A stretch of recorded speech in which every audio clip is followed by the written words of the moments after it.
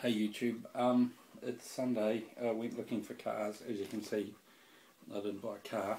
Um, spotted a garage sale on the way home and picked all these phones and coffee grinders up for $35 and also got all these um, NES and um, Sega controllers as well. The Sega controllers are broken, NES ones look like they could work. Um, don't know if I told you before, I sold one of these and I got four, uh, one of these rotary dial phones and I got $40 for it plus freight. So basically got to sell that and everything else is, is, is good money.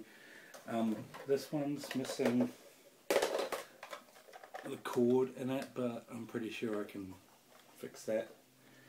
Um, yeah. Uh, the good thing about these phones is they don't require any external power to get them going. They just work off the um, power supplied by the public telephone network. So um, I haven't plugged any of them and I don't know if any of them go. But that's my um, Sunday haul. Um, we'll see what we got out of it. anyway, thanks for listening. Um, subscribe and um, comment and thumb me up, thumb me down on all my stuff that I'm doing. Okay. Oh, and um, thanks to uh, Laura for um, responding to my emails and helping me out with some stuff. She's really good when I don't know anything, and I don't know a lot of things.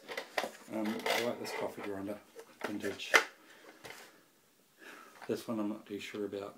It's made in Japan, but it's got a glass bowl, but it's missing the nuts off the top.